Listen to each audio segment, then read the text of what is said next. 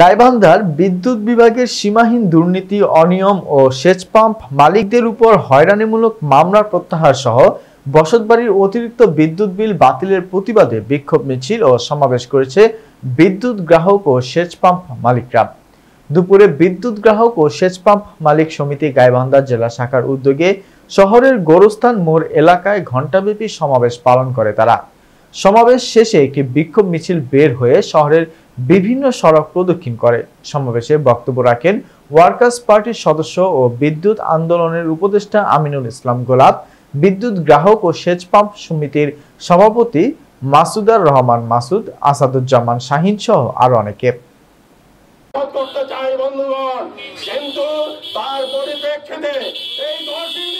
থেকে আরম্ভ করে এদের তদন্ত হলো, বহু তদন্ত হলো, রাজশাহী থেকে আরেকজন হয়েছেন রংপুরের এসি আরেকজন হয়েছেন ঢাকার কৃষক। কৃষক আমাদের সম্মানীয় ব্যক্তি।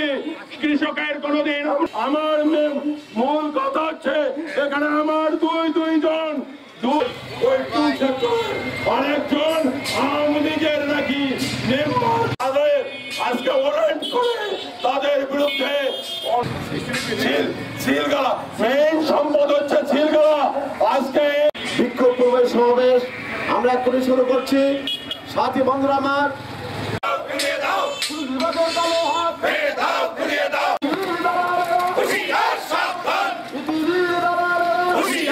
প্রশাসন জবাব চাই পাপে মামলা কেন প্রশাসন জবাব চাই পাপে মামলা